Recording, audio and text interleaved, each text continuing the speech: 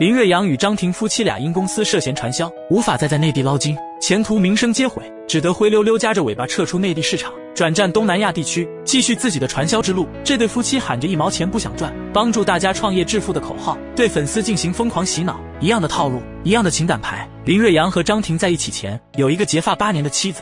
就是女明星曾哲珍，曾哲珍颜值并不比张婷低，有大家闺秀的气质，能被琼瑶看中的女演员，一定都美得有过人之处。曾哲珍曾在电视剧《婉君》里饰演婉君的好朋友蓝轩，当时林瑞阳也不似如今的油腻，有台湾地区第一小生的名气与颜值。两人邂逅于一场聚会，郎才女貌，何其般配。婚后，曾哲珍为林瑞阳生下了一对儿女，并退出娱乐圈，专心在家相夫教子。林瑞阳则整天面对着娱乐圈的灯红酒绿，时常闹出绯闻，但曾哲珍都忍了。直到一九九八年。林瑞阳与张庭同游北京被拍到，照片曝光后，到处都在骂张庭是蜘蛛精，勾引男人。然后就有了张庭开记者会澄清，哭晕在现场的那场戏。那时张庭在媒体面前哭到上气不接下气，问为什么要欺负我？我只想好好工作，你们看不到我这么努力吗？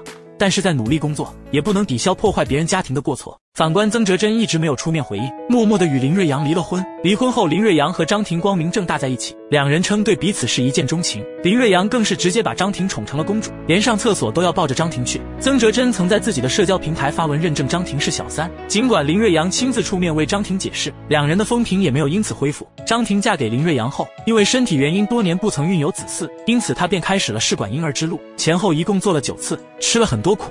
终于在林瑞阳五十二岁时，夫妻俩凑齐了一个好字。之前，林瑞阳和张庭在内地的生意越做越大，两人在社交平台上发的动态也相当活跃，时常发布全家在一起的照片。一家四口的合照中，两个孩子长相都很一般，不如张庭与林瑞阳年轻时那般漂亮帅气。两人的女儿更是被网友吐槽又黑又丑。当时小女孩怒怼道。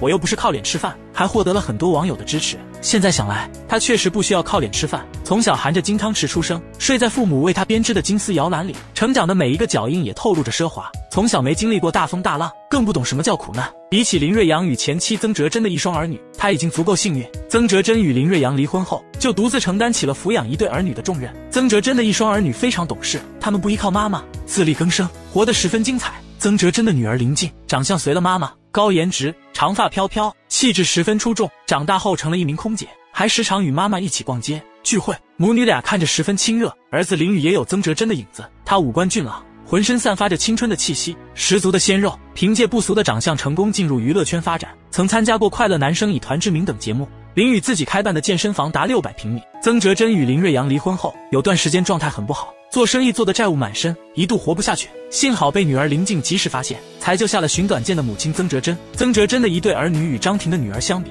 颜值更完胜，完全继承了曾哲珍的基因。童年生活虽然比较苦，家庭不够齐全，但两人从小就养成了独立的性格。长大后自己打拼，在适合自己的道路上活出了精彩，一点不比张婷的孩子差。